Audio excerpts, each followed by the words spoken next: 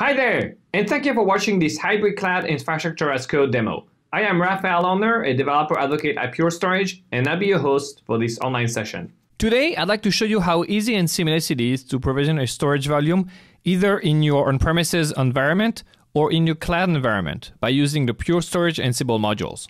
If you're a DevOps professional, you're probably already familiar with IT automation tools such as Ansible, SaltStack, Puppet, and Chef or with scripting languages such as Python or PowerShell.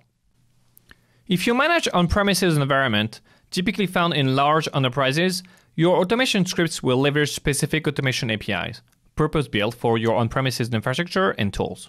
However, if you work for a born cloud company and want to perform a similar set of tasks in cloud environments, you will most likely have to leverage a different set of APIs and write different scripts. And it's all fine if you deal with either on-prem or cloud environments. But as you probably already experienced in your daily work, the situation no longer is black or white.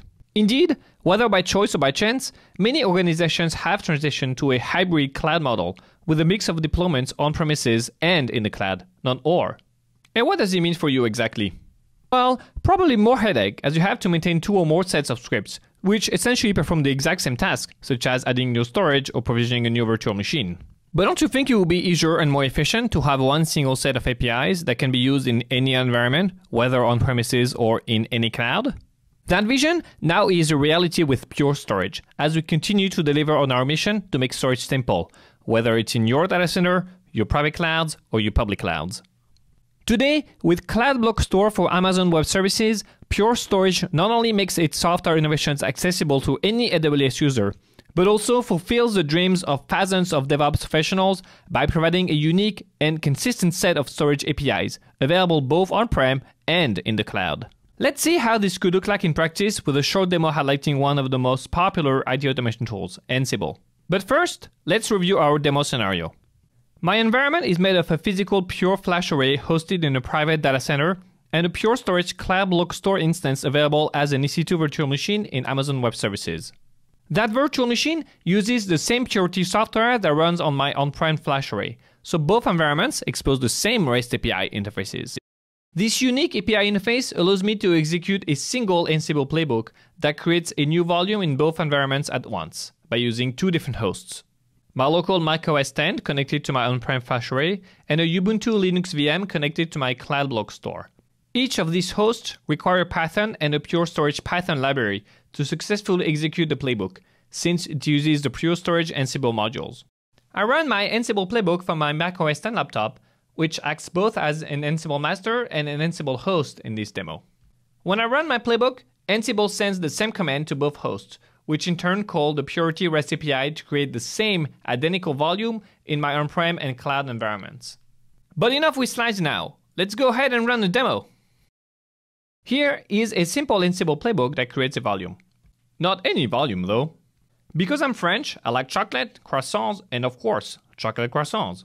So how surprising is it that I picked chocolate croissant for my volume name? More seriously, know the two hosts that will execute that playbook, local and AWS. These names are descriptive and the real host definition is available in my inventory file here. You can see that the local host name refers to my local machine and the AWS host name to the public IP address of my Linux VM in EC2. Back to my playbook, notice that I use the PureFA volume module to create a new volume. This module requires a few variables, namely the name and size of the volume I'd like to create, of course, but also the URL of my flash array and the API token. These last two parameters allow each Ansible host to point to the proper flash array or cloud block store with the suitable permissions. I can hardcode any number of parameters in the YAML file, or provide them dynamically at runtime. Because I'd like to create a 300 gig Chocolate Croissant volume both on my on-prem flash array and my cloud block store, I've chosen to hardcode the volume name and size. However, I want to dynamically define my flash array URL and API token. To do so, I've configured a playbook with flash array URL and flash array API token placeholders I'll fill out at runtime. How do I achieve this? Well, Ansible is very flexible and supports various ways to provide per host variables. For instance, I can store any parameters in YAML format in files under the host vars folder, with each file name matching the corresponding host name. I can also store these parameters in the Ansible inventory file by appending colon vars to my host group names, in this case, local and AWS. At runtime, Ansible will assign the FlashArray URL value of each host to the FA URL parameters of the playbook, and conversely, the FlashArray API token value of each host to the API token parameter. Last, let's review our on-prem and cloud environments. Here is my on-prem flash array management website. Note the API address of that array, which obviously matches the value I configured in my Ansible inventory file. I can also retrieve my user API token by navigating to the users section and displaying my API token. Let's also check the volumes I have on that flash array by browsing to the volumes page. As you can see, there's no chocolate croissant volume yet. Now, let's review our AWS environment. Here is my Pure Storage Cloud Block Store instance running Purity software in an EC2 virtual machine. Note the 10.02.87 IP address I will use later on to connect to my Cloud Block Store Management UI. It's an internal IP address, so I can only access it through another virtual machine that's connected both to it and to the public internet. It just so happens that I already have such a machine, aptly named Pure Data Cloud Ansible Host. I can connect to it through SSH, and thanks to the magic of XQuartz, I can launch a Firefox browser directly from within that virtual machine to display the flash array management UI. Note the IP address of my browser window, 10.02.87 the exact same one I showed you in the playbook's configuration files.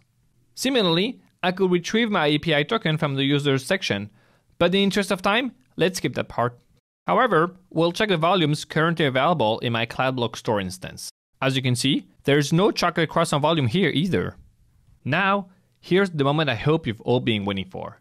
Running the Ansible playbook, of course. So let's do so, and voila! A chocolate croissant volume should be available both in my on-prem FlashArray and in my Pure Cloud Block store on Amazon Web Services. Let's double check these together. Here's my on-prem FlashArray where you can see my chocolate croissant volume. And here's my Cloud Block store instance in Amazon Web Services with a chocolate croissant volume as well.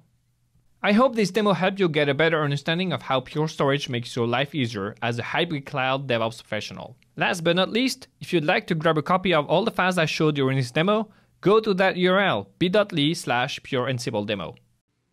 Well, I don't know about you, but talking about chocolate and croissant has made me very, very hungry. So I'm sorry I have to go now, but I'll see you very soon for another DevOps demo. Take care.